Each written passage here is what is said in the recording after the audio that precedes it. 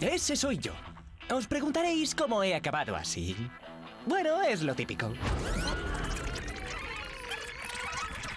Fijaos bien.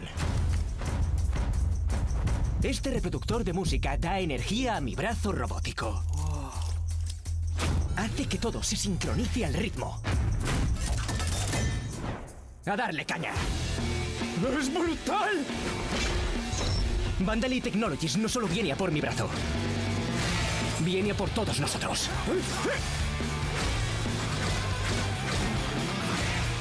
Esto... ¡La anomalía!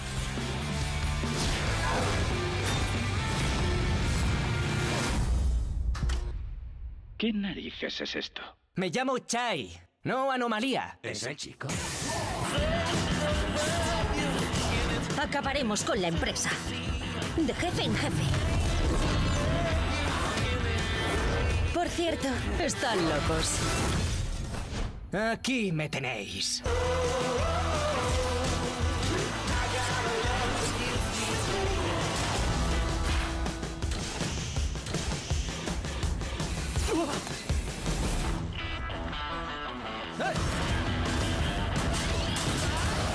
¡Uh! ¡Sí!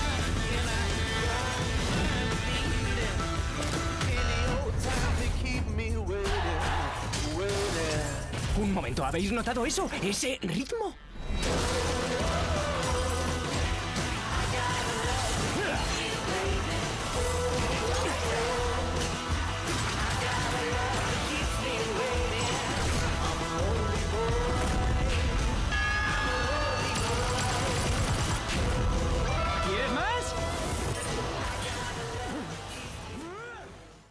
Hi-Fi Rush, un juego que realmente salió de la nada, brother.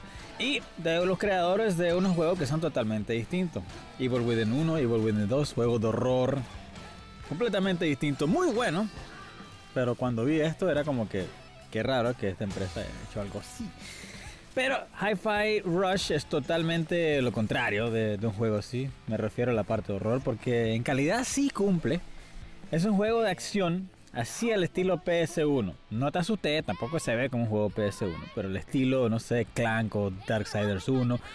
La acción no al estilo Dark Souls, es algo más, mucho más light, pero también es un juego de ritmo.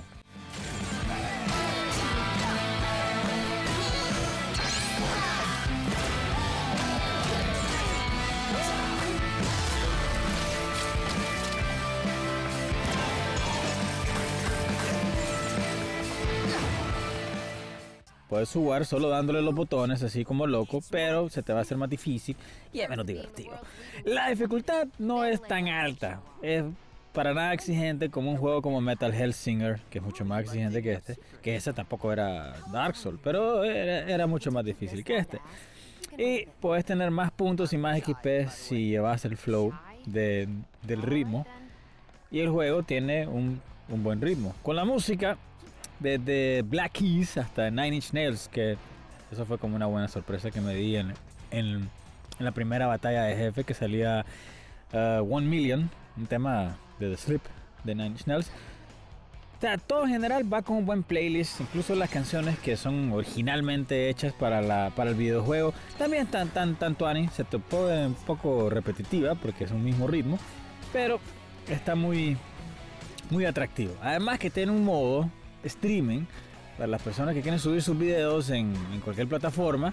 Entonces te agarra una canción que no tiene la onda de los derechos de autor, que es pero parecida a las canciones que habían puesto. Así que los más pensaron muy bien de que est- este videojuego iba a ser viral.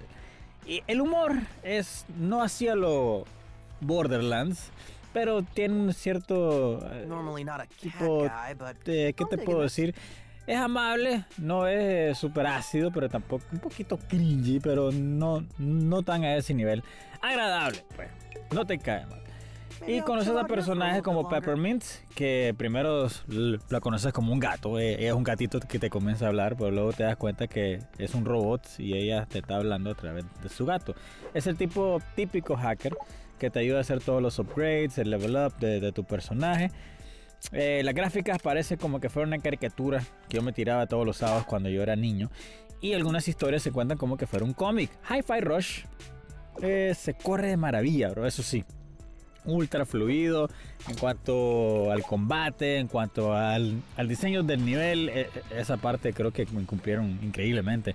No hay ninguna dirección que te dice que andate por ahí, pues como una flecha. Simplemente uno, por intuición, va agarrando a dónde tiene que ir. Y lo hizo, lo hicieron muy bien los creadores. Este tipo de juego eh, lleva años, yo llevo años de, de- de no jugar un juego así rápido, intenso, divertido, ligero. Quizás me hacía falta algo que sea así, que no sea tan difícil, ultra difícil como lo último que he estado jugando. Simplemente divertido. Ahora, esto último. En lo personal, Hi-Fi Rush no es mi estilo de juego. Yo prefiero algo más preciso, algo con, un reto. Sin embargo, sí considero que está bien hecho y a mucha gente le va a gustar. Puede ser que a vos te guste Hi-Fi Rush. Esto fue Rockin' Games. Chau, chau.